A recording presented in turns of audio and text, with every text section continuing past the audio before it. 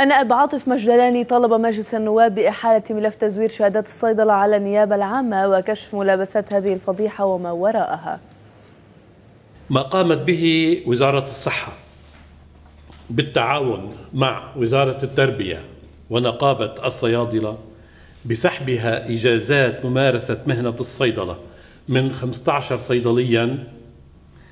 زوروا شهادات الكولوكيوم أمر جيد. ولكنه مرة أخرى غير كاف كما حصل مع ملف ملفات الأدوية المزورة.